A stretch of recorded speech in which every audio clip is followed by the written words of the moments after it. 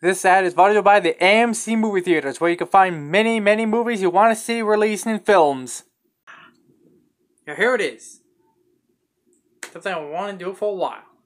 The people that inspired me to do this show. And here it is. Now, let's get started. I'm on a mission, the powers and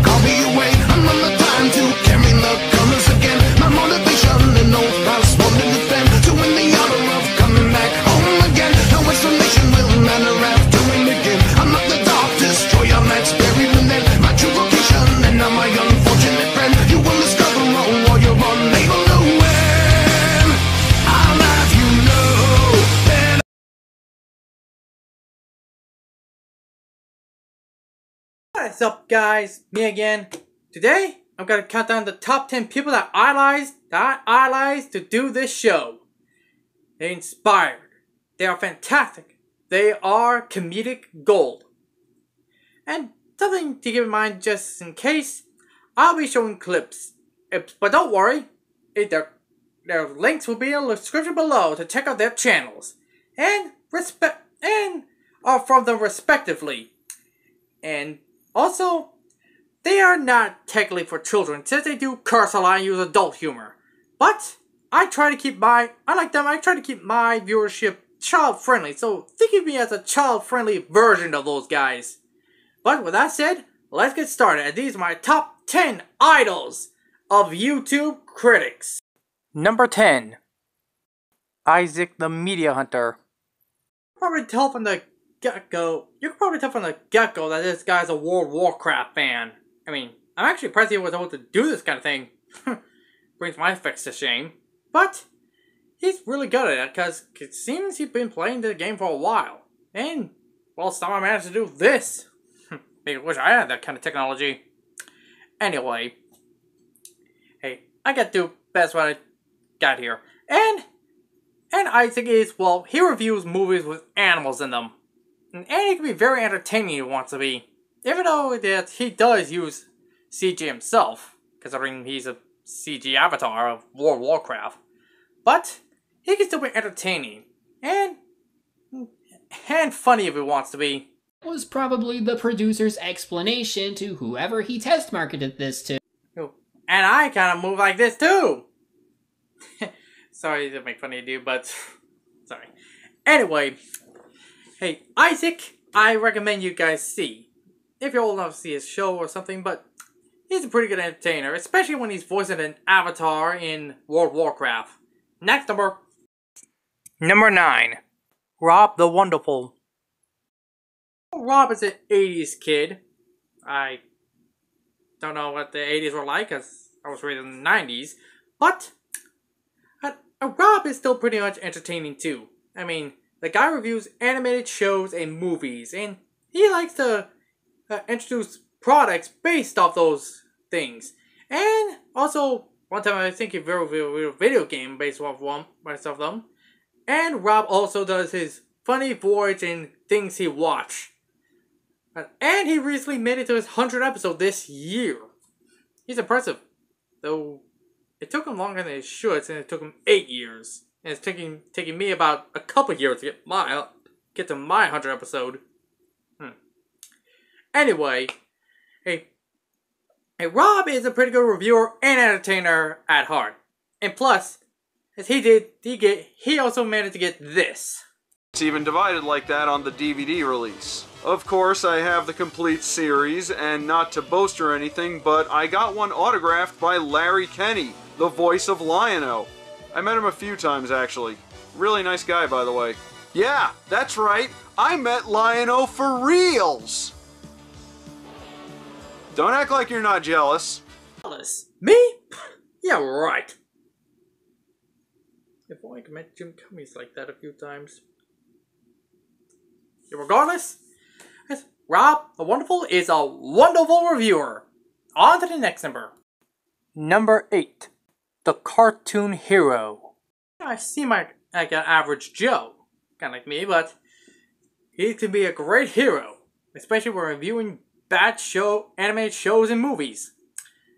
But I respect this guy really. I mean, he points out obvious flaws and makes fun of them. The, then again, doesn't every critic? Anyway, he could be a funny guy. Right, when he reviews bad movies and games, bad movies and shows, he does it with great responsibility. And he'd be funny when he wants to be. Case in point. anime was made like the Pokemon Adventures manga instead of this, and it's hailed as one of the greatest anime of all time. Like the Doctor Who of Pokemon, or more appropriately, JoJo. I'm not familiar with Doctor Who, but anyone can compare Pokemon to an iconic guy like that? It deserves a point in my book. And I love Pokemon, and I respect a critic that loves it too. On the next one. Number 7. The Hardcore Kid. Hardcore Kid is a funny guy.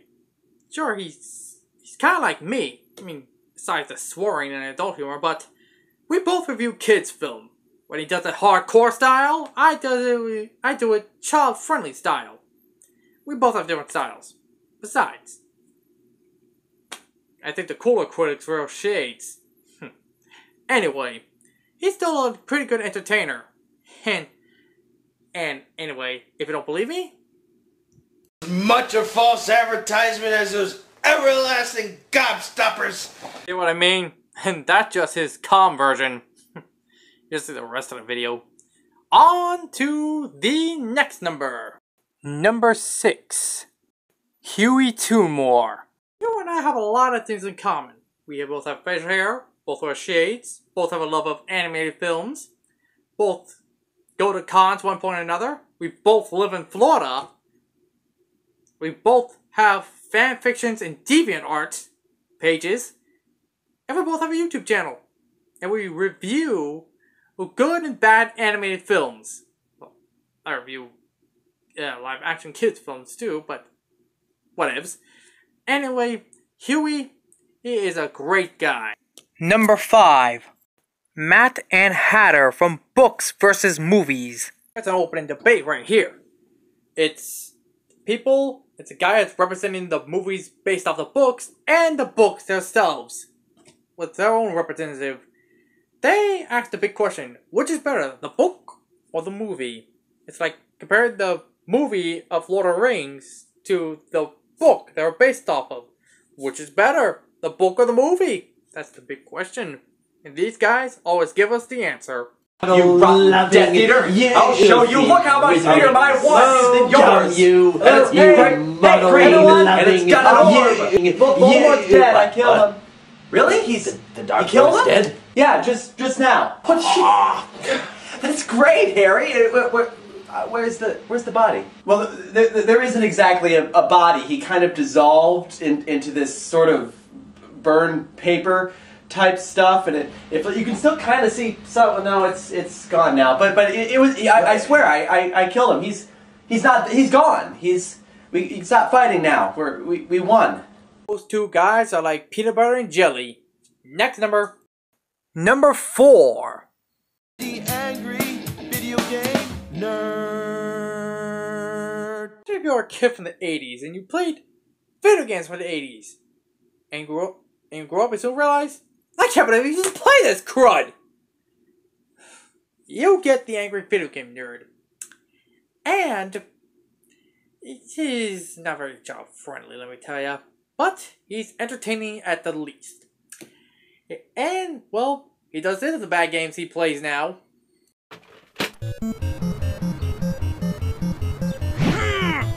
That is just on his good days. Next number.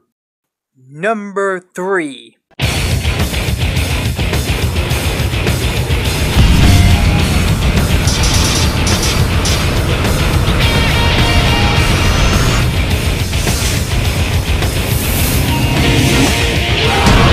all heard Ah, yes, my before, favorite, a so little it loving brief. Latino is one of the critic. greatest franchises of In fact, I'm Hispanic on my mother's side.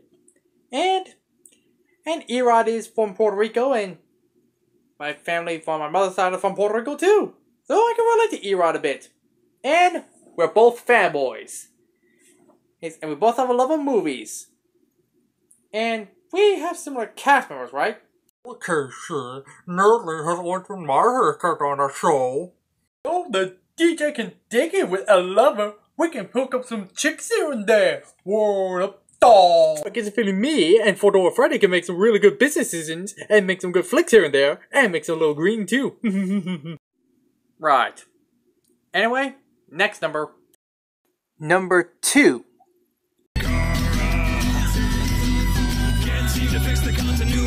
my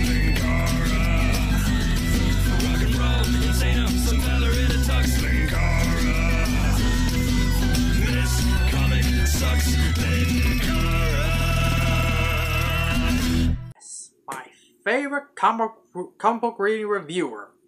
His guy is funny and hilarious, especially with the cro- when he does crossover with other critics. And currently, he's gonna do a crossover with Erod for the Just League movie.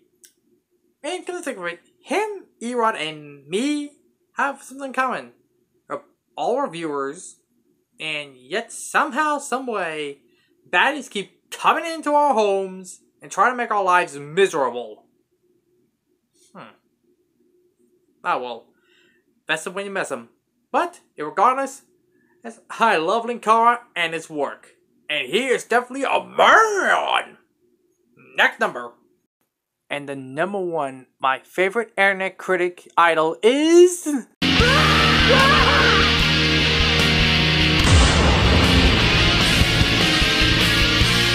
Yes. The guy who remembers it, so we don't have to. This guy's hilarious and fun with his reviews. I mean, even when he makes fun of the good films, he still makes it good. Even though we disagree with him on some occasions. Anyway, I love the critic when he's being funny. And when he uses hilarious memes. Oh boy, I could go on and on about this guy. But, I'm on a time limit. I'm almost reached my time limit anyway. Anyway, hey, and I love the critic and his work. And you know, whatever you do, do not mention the Bat credit card around him. The Bat credit card. yeah, I better wrap this up. So, anyway, I want to hear from you. Who is your favorite internet critic, aside me, of course? And, and let me know in the comment section below, and let me know what you think. Till then, this is Casey. See you next time, hopefully, and toodles. The Bat credit card.